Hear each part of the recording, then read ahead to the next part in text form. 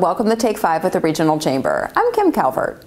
A new Austintown Bar and Grill is a great place for dinner or a night of entertainment. Thirsty Frog Bar and Grill was opened in October by a couple who have years of experience in the bar and entertainment industries. Leslie Davis visited to find out what's on tap at the new restaurant. Back in October, Jim and Tammy Adler started a new chapter in their lives, opening the doors to Thirsty Frog Bar and Grill. The couple were the longtime managing partners at the Pink Elephant, which recently closed. Many of their customers have followed them to their new venture. We've been in the industry for a long time, uh, created a lot of friends and we call family that continue to support us. The Thirsty Frog has a full menu and also a full bar with a 12 tap beer system.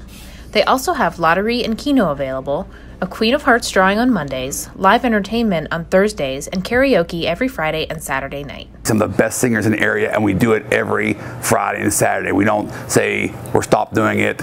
We just do it. It's here every Friday and Saturday. So if people want to come and sing, they're in bands, they want to come and practice on a night off, everyone comes here to sing karaoke. Jim also let his creativity shine, adding a dart and pool room that converts into a rustic banquet room. Every Saturday night, we have blind draws for darts. I have seven dart boards back there. Then I can just convert it to a rustic theme with old barn doors and shutters and, and have a bridal shower on Sunday morning.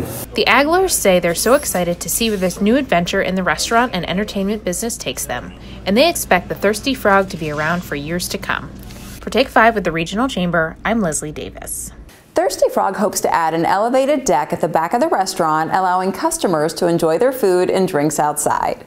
For more information on the menu and events there, visit thirstyfrogbarandgrill.com. Now to a local speaker and business owner who just released his first book. Greg Smith is chairman of Comco Industries, a motivational speaker, and now a published author. His book gives readers the tools and skills they need to be a good public speaker. He says he spent 10 years researching and learning about how to organize content for a speech and how to use voice and physicality to make a good presentation. And now he's passing that knowledge along in his book. This book will make a difference in your life. Everybody is called to speak, everybody is called to present.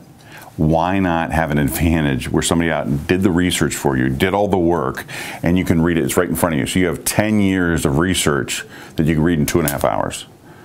I just think it's a gift, and I, I hope people take advantage of it. If you'd like to buy Greg's new book, go to gregsmithleadership.com.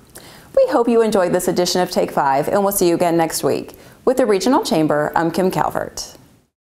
Take 5 with the Regional Chamber is produced by Mahoning Valley Productions, where we tell your stories.